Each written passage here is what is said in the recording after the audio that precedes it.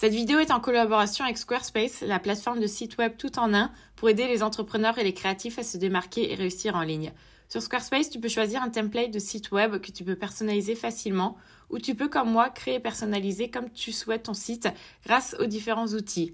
Si vous me suivez, vous savez que c'est la plateforme que j'utilise pour ma boutique, mais également pour mon portfolio. Et pour moi, c'est important d'avoir un endroit où je peux montrer les différents travaux sur lesquels j'ai eu l'occasion de travailler au cours des dernières années. Ça a été assez simple à créer grâce aux différents outils parce que j'ai vraiment pu personnaliser les différentes pages comme je souhaitais. Si jamais cela vous intéresse, on se retrouve sur squarespace.com slash ectomorph pour l'essayer gratuitement. Et si vous franchissez le pas, utilisez le code ectomorph pour économiser 10% sur votre première commande de site web ou de domaine.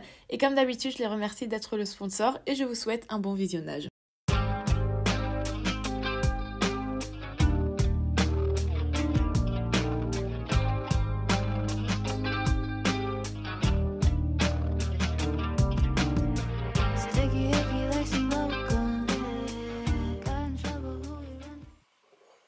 Hello, bonjour, j'espère que vous allez bien. Aujourd'hui on se retrouve dans une vidéo dans laquelle on va dessiner ensemble. Euh, j'ai décidé d'avoir mon sketchbook tout le long de la journée avec moi pour euh, faire plein d'illustrations afin de vous montrer euh, comment est-ce que c'est simple entre guillemets de pouvoir euh, démocratiser cette pratique et aussi pour vous montrer que euh, lorsqu'on a un sketchbook on n'est pas obligé de passer beaucoup de temps dessus. Ça peut être des dessins qui peuvent être faits en 30 secondes et vous montrer en fait comment c'est des choses du quotidien qui peuvent potentiellement vous inspirer. Vraiment l'objectif de cette vidéo c'est d'essayer de vous enlever les blocages par rapport au sketchbook.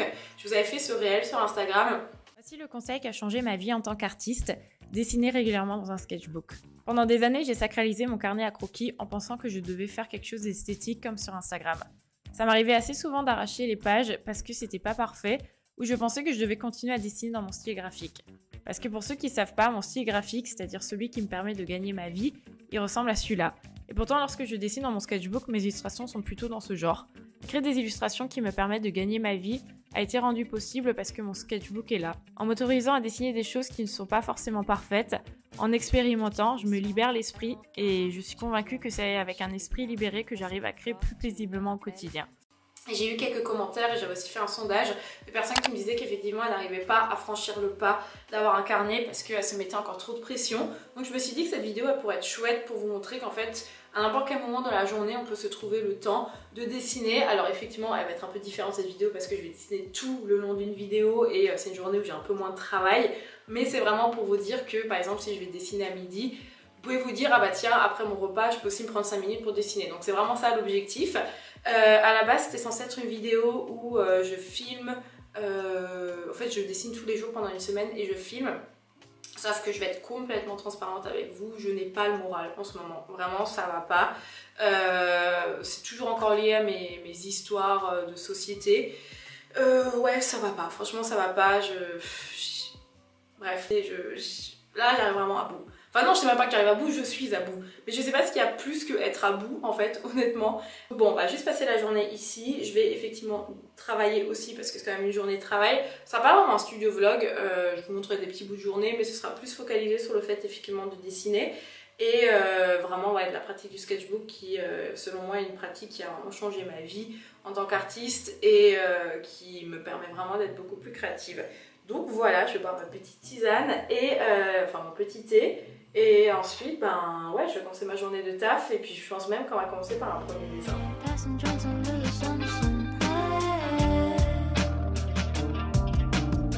ce premier dessin, je vais aborder avec vous la question de qu'est-ce qu'on dessine dans son sketchbook. Très souvent, on peut se dire je suis pas inspirée, je sais pas quoi réaliser. Et moi, personnellement, c'est le type de question que euh, je me pose, par exemple, lorsque je vais faire des illustrations que je veux publier par la suite. Mais lorsque je suis dans mon sketchbook, je vais vraiment venir m'inspirer de littéralement tout ce que je vois, en fait, en face de moi, de tout ce que j'ai pu vivre dans ma journée. Là, typiquement, on va dessiner bah, mon petit déjeuner. Je décide de euh, représenter les différents éléments qui ont servi à faire la tartine. Euh, vraiment, l'objectif, en fait, de ce sketchbook, et c'est aussi pour cela que je fais cette vidéo, c'est de dessiner sans chercher à ce que cela soit forcément beau. Le plaisir que va procurer le dessin est plus important que euh, le résultat. On est loin des carnets Instagrammables où chaque page est parfaite. Moi, ça a été vraiment mon souci pendant des années et c'est pour ça que j'ai jamais vraiment tenu des carnets. Je veux vraiment vous montrer en fait qu'en 5 minutes, vous pouvez réaliser une illustration. L'objectif, ce n'est pas de se dire que c'est beau, ce n'est pas de se dire ça ressemble à mon style graphique, c'est pas de se dire je vais le publier sur les réseaux sociaux. Vraiment quelque chose qui m'a euh, changé en fait ma, ma pratique, quelque chose qui me l'a vraiment débloqué, ouais c'est ça le terme, c'est le fait de me dire que tout ce qui se passe dans mon sketchbook n'est pas diffusé sur les réseaux sociaux.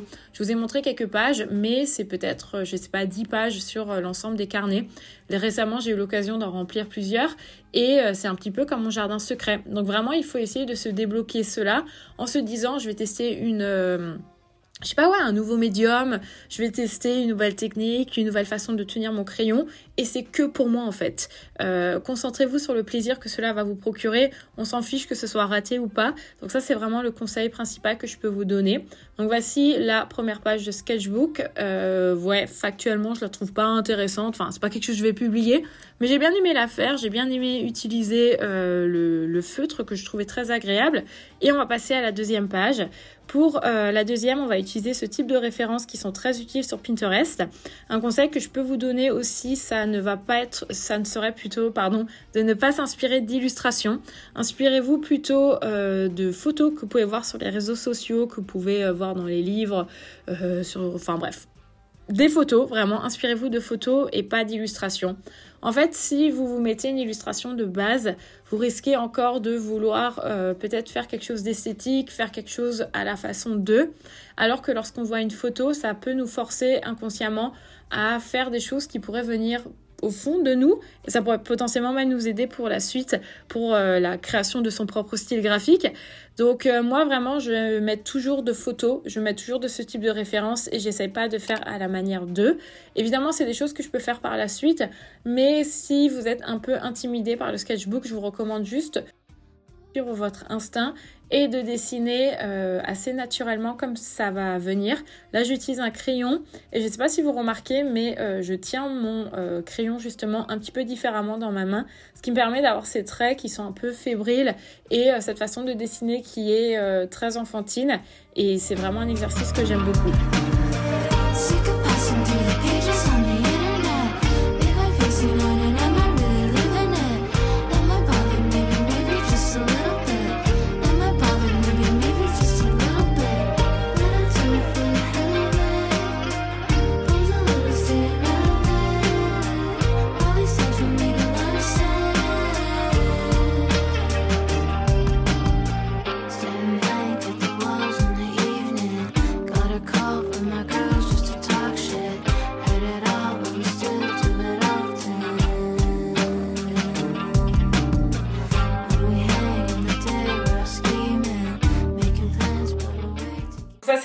Je viens de faire à l'instant.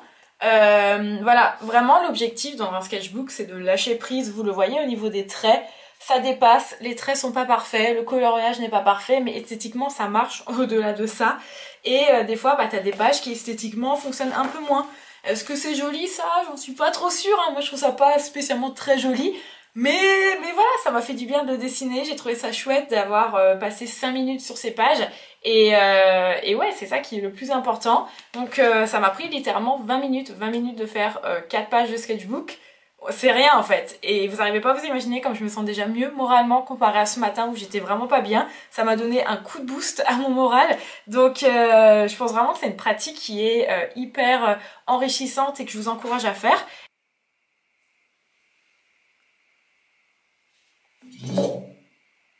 Contre leur paillage illégal. Quelques 30 militaires de la Légion étrangère vivent jour et nuit ici sous des abris de fortune en tôle. La faune la plus dangereuse pour nous ici, c'est euh, surtout des petits insectes, mais qui sont très venimeux. Euh, ça va être des serpents, des araignées. Le capitaine Arthur assure la visite. Ensuite, vous avez ici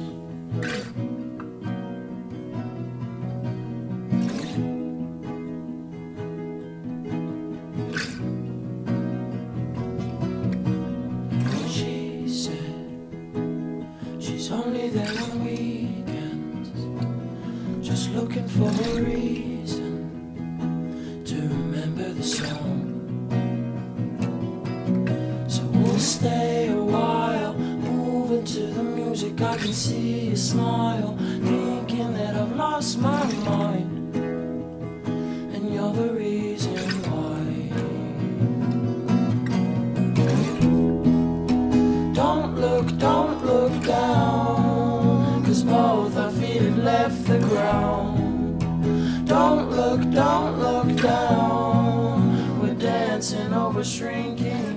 Pour ce quatrième dessin, j'avais envie d'insister sur euh, le temps que je passe sur mes illustrations là dans le sketchbook.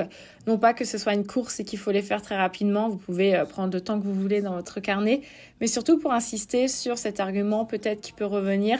Et moi la première, hein, de se dire euh, j'ai pas le temps de dessiner, j'ai pas le temps de m'y mettre. Et en fait, bah là, la plupart des dessins que j'ai fait aujourd'hui, je les ai tous fait en moins de 10 minutes et il y en a trois que j'ai fait en littéralement 5 minutes. Donc c'est vraiment la preuve que le sketchbook est une pratique qu'on peut euh, complètement introduire euh, dans notre quotidien. Et euh, vraiment ça fait un bien de fou et je suis trop contente d'avoir autant dessiné dans une journée. Même d'un point de vue général, cette vidéo m'a prouvé que je pouvais dessiner beaucoup plus dans mon sketchbook que ce que je m'autorisais. C'est vrai que je dessine pas tous les jours euh, parce que des fois je me dis j'ai pas le temps. Alors qu'en vrai, euh, ben, j'ai réalisé que je pouvais vraiment le faire et ça a eu un impact tellement positif sur mon moral cette journée. Donc euh, vraiment, je vous recommande de le faire.